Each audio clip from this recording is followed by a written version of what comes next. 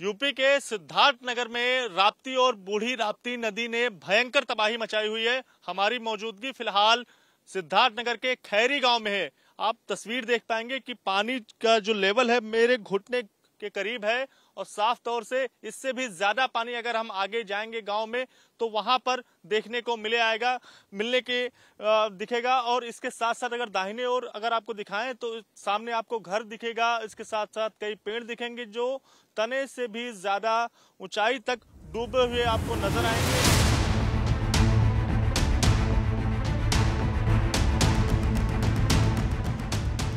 समंदर का आकार ले चुका ये इलाका हिंदुस्तान और नेपाल की सरहद है। ये जो गाँव है, यूपी के सिद्धार्थ नगर के आखिरी छोर पर है, जहाँ इन दिनों ज़मीन तलाशना जोखिम भरा हो चुका है।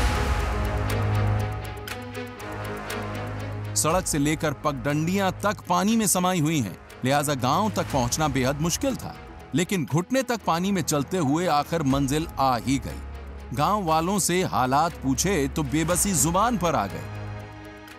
क्या क्या दिक्कतें हुई? घर में किस तरह की परेशानी हुई जब पानी यहाँ घर में हला कुल पानी कुल परेशानी है सबके लिए परेशानी है गाँव भर के लिए परेशानी है खान पीन के लिए कुल चीज़ के परेशानी है। सर दिक्कत क्या शादी था? वो है कि सामान वामान सब बिक के गया और आदमी के खिला पिला नहीं पाया। गल्ला पात दिक्कत हो गया फिर सामान वामान में दिक्कत हो गया। घर में शादी था ये सामान वामान लाने का लेके जाने का दिक्कत हुआ। नात बात भी नहीं आया। नुकसान कुलिया तो हो ही गवा है कुलिया गिरा जाता है एकदम से नहीं बनावे खा कुछ परेशानी है। खाना पीना के बाहर भीतर कुल अपार है हैं?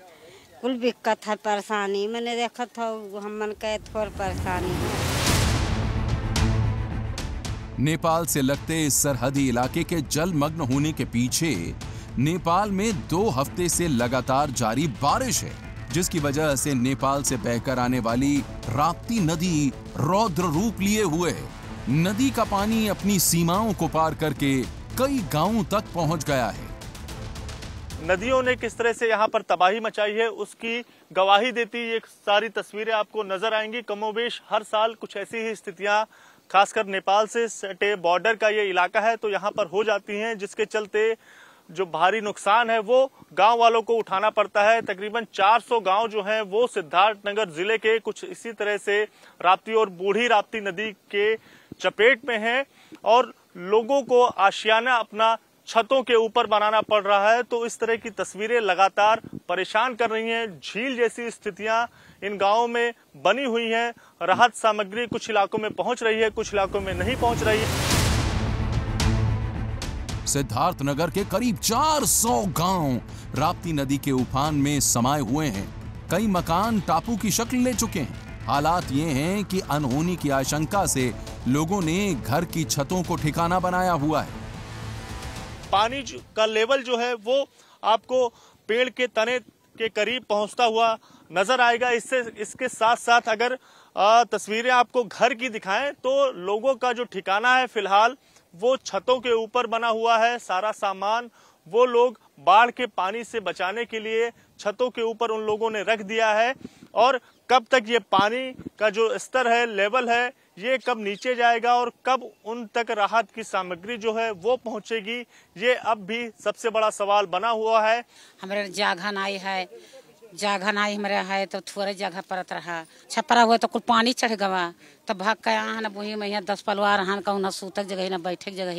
हमन का परेशानी इतना पानी भरा है लड़के बच्चे इतना पानी हलिहल आवा जाता है। तो अब लड़के बच्चे कहूँ बूढ़े बह जाइए कि बच्चे हैं? वहाँ जनवा बची हमन का सब बिछे निकलत है अब पानी भरा है तो निकलबे करिए घर में अबे करिए कौन है क्यों मार दिए थे क्यों भगा राशन कुछ पहुँचा मिला सरकार? वही ना। फ़िलहाल बाढ़ प्रभावित इलाकों में राहत सामग्री पहुँचने लगी है साथ ही बाढ़ का पानी भी कम होने पर महामारी के खतरे से निपटने के लिए दवाइयाँ भेजी जा रही हैं।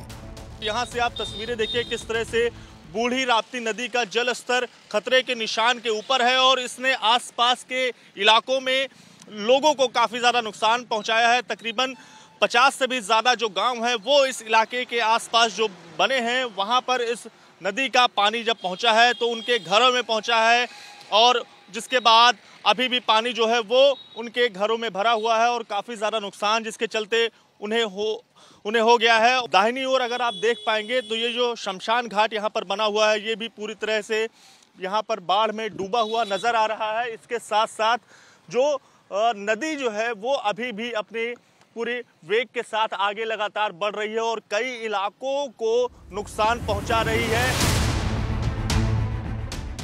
सिद्धार्थनगर ही नहीं नेपाल में बरस रहे बादल यूपी के कई और जिलों के लिए भी आफत लेकर आए हैं। इन्हीं में गोरखपुर भी शामिल है।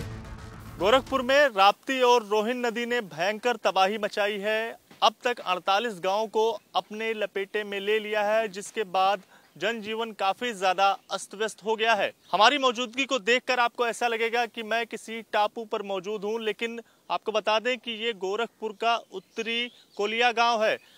और इसके आसपास की अगर आपको तस्वीरें दिखाना चाहें तो किस तरह से इसके हर ओर या फिर कहें चारों ओर पानी ही पानी आपको नज़र आएगा। काफ़ी ज़्यादा नुकसान इस इलाके में हुआ है।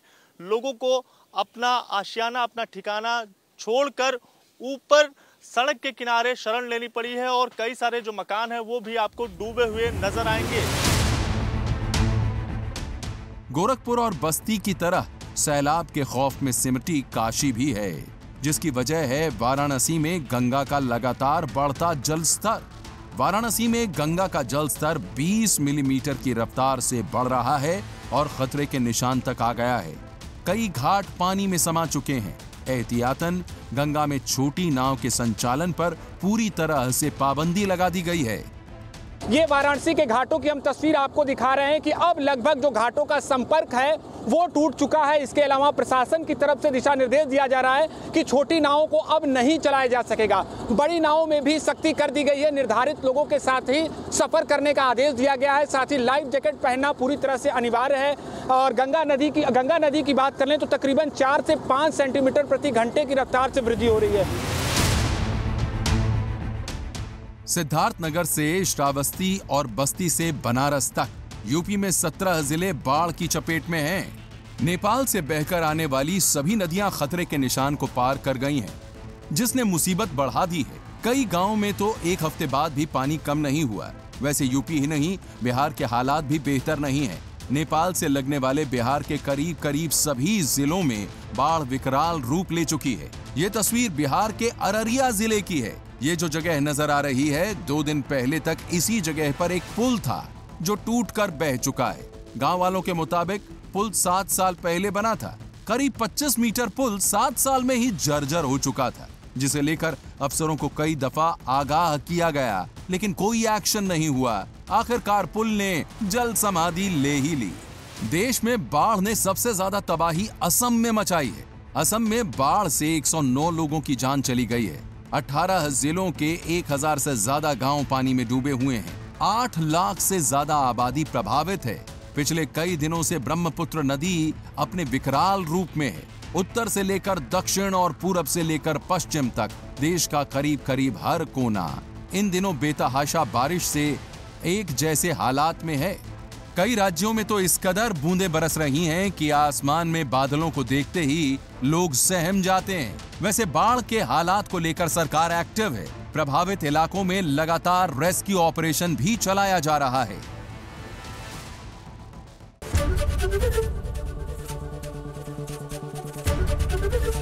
एबीपी गंगा, खबर आपकी जुबा आपकी।